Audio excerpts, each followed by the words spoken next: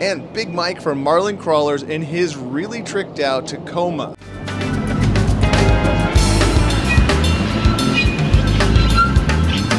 Uh, I'm Big Mike from MarlinCrawler.com. This is my 2016 Toyota Tacoma with just a couple modifications to it.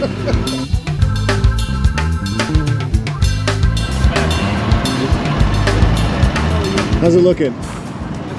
I think I mounted these too high because that looks pretty much bottomed out. Ooh, so I, yeah. I definitely want to lower those because there's room above the tire to the fender. Yeah.